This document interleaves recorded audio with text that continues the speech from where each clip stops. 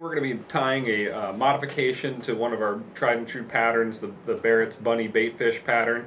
Um, so I've got an S12S hook here. Uh, we've started a base wrap of beige, uh, tan, it's basically tan, 150 denier Lagartun thread.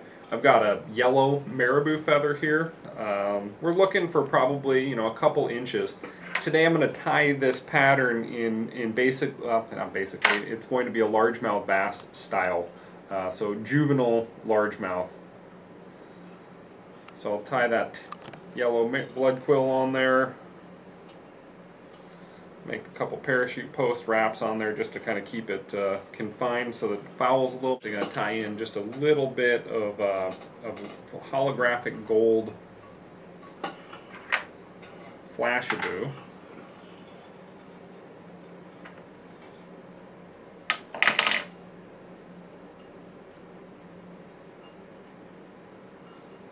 Extend that past the tail just a little tiny bit for some kick. Now we're going to tie that crosscut rabbit in.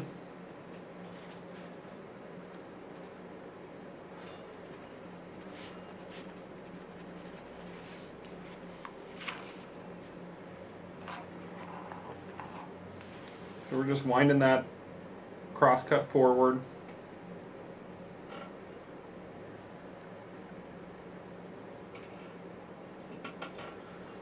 There's the basic outline of the body. We've got uh, uh, some extra select craft fur here in medium olive. We're going to use that as the dorsal coloration.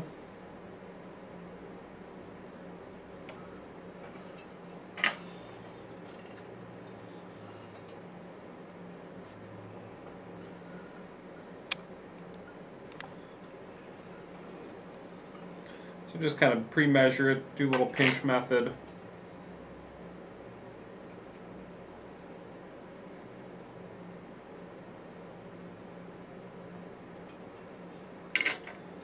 Trim that down just a hair.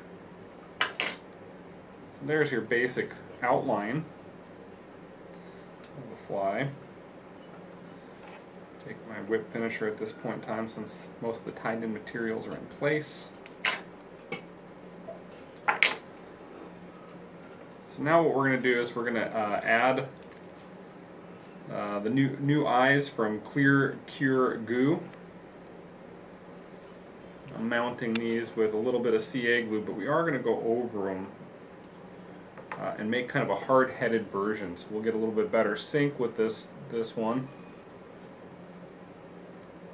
Killer color on the eyes, though, and a good selection of. of, of yeah, really, really neat. Um, some of the other ones have a, a ultra lifelike pupil in there. Uh, looks like to me like they, you know, probably took it off of a, another fi a real fi fish in order to, to get the pupil design. It's kind of cool. I just give those a little bit of a pinch.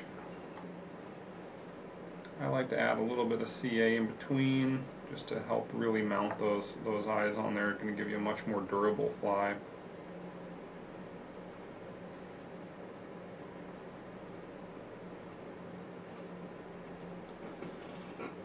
So in the old pattern, we would essentially be done.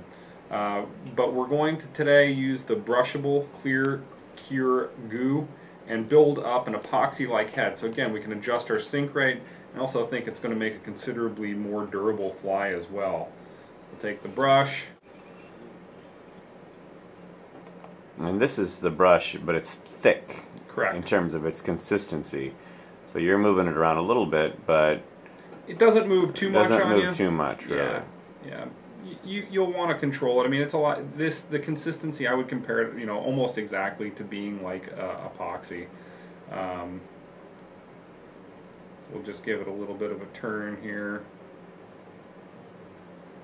yeah, with the rotary vise, I mean, you can control it really well. It makes a huge difference. Yeah, if, you, if you're going to endeavor to use this stuff, it probably is going to make sense that you invest in a, a, a good quality rotary vise.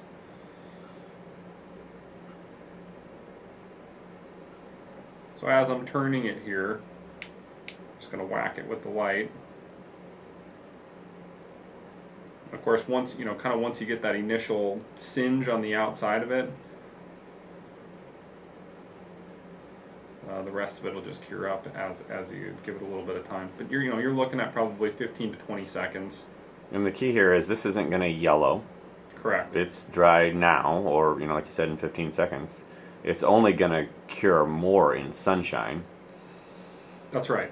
That's right. So the last little embellishment I like to make on my largemouth patterns here for the juveniles, I'll take a, a magic marker and just kind of give it a, a black stripe at the end of the tail.